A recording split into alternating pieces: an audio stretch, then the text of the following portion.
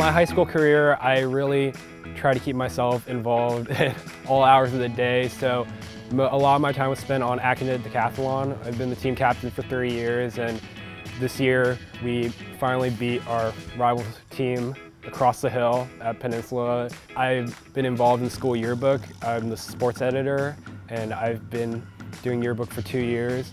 We recently just won All-American Award for our yearbook. And I've also been involved in Science National Honor Society. I've been the president uh, this year and we go out in the community, help kids with science projects or we go out and do demonstrations or help out at science fairs. I was really, really focused on a liberal arts college from the start.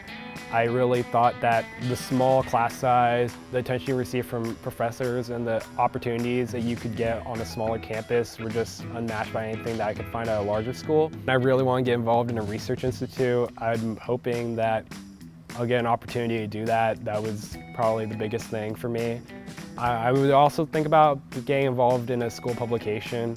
I think I'm most excited just to meet all the new people that are going to be there. I mean, I've lived in Palos Verdes for the last 13 years of my life, and I've kind of known these people and grown up with them.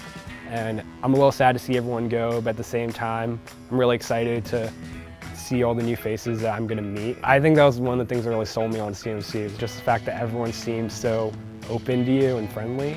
I don't know if I got that every other campus I went to. Checking the days off until August 22nd.